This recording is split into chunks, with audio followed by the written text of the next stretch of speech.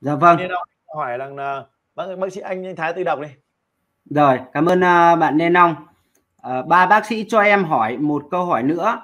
Em có nuôi chó thương phẩm nhưng chó hay bị chết. Vậy cho em hỏi chó bị bệnh gì và cách điều trị thế nào? Có phải tiêm vaccine không ạ? Uh, cảm ơn bạn Nên Long nhé.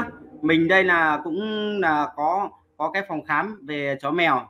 Thì uh, thứ nhất là bạn nuôi chó thì đặc biệt là chó thương phẩm thì ờ, bạn chắc chắn là bạn sẽ phải làm vaccine rồi. Vaccine thì bây giờ nó có cái loại vaccine hai bệnh này năm bệnh và bảy bệnh. Đấy nguyên tắc đầu tiên là bạn ờ, khi bắt về ờ, bạn hỏi xem là ở chủ họ có tiêm không? Nếu không tiêm thì bạn bắt buộc bạn phải tiêm cho mình cái mũi vaccine năm bệnh. Của công ty như của Pfizer cũng có này hoặc là những công ty như dược phẩm xanh đều có. Đấy bạn phải tiêm cho mình.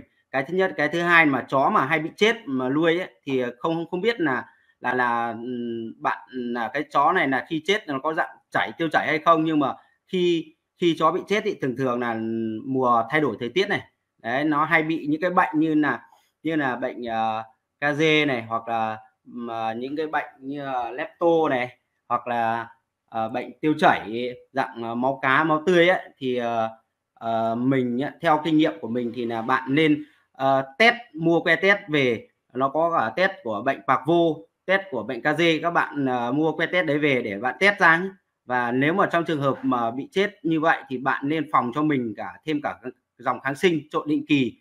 Và thứ hai là khi có cái triệu chứng mà chó bị tiêu chảy đấy, phân nát và con NN ấy, thì mình có một cái phác đồ điều trị rất chi là hay. Đó là bạn sử dụng cái à, sản phẩm bộ sản phẩm của công ty đây này. Đấy, mà mình điều trị khỏi rất chi là nhiều. Thứ nhất là bạn sử dụng cái đường nguyên tử cái thứ hai là bạn sử dụng cho mình thêm cái Cepphol và cái thứ ba là bạn đấu thêm mình cái Lanco Spec. Đây nhá bạn đấu theo tỷ lệ đó là 3C là 3C đường nguyên tử này 1C Cepphol này 2C Lancospec này. Đây hỗn hợp này là được 6C bạn uh, tiêm cho được 10 kg chó nhé khẳng định với bạn là bạn tiêm mũi thứ nhất đến mũi thứ hai là chó nhà bạn là bạn nhìn thấy tháo sợi hiệu quả và đã phân đã cầm rồi.